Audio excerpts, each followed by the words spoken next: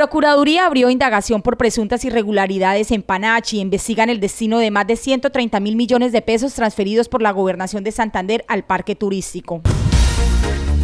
La policía de Florida Blanca adelanta planes de registro en los colegios. Los uniformados llegaron sorpresivamente a las instituciones educativas para descartar que los mismos tuvieran en su poder estupefacientes o algún tipo de armas.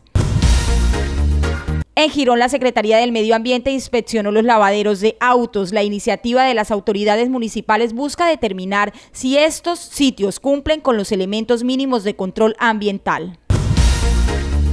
En pie de cuesta buscarán una solución para damnificados de la vereda Las Amarillas con el propósito de hallar soluciones de vivienda para un grupo de familias que resultaron damnificadas por la ola invernal de 2010. El Fondo de Adaptación y la Personería Municipal convocaron a una reunión.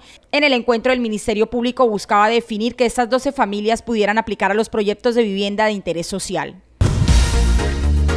Investigan presunta ilegalidad en licencia de relleno sanitario. La Procuraduría General de la Nación hizo un contundente llamado a las autoridades locales y regionales por el grave impacto ambiental que se está ocasionando a la Ciénaga San Silvestre. Por primera vez desde que se anunció la construcción de rellenos sanitarios, el Distrito de Manejo Integrado de este cuerpo de agua, el Ministerio Público aseguró que se investiga la situación que está ocurriendo en este sitio.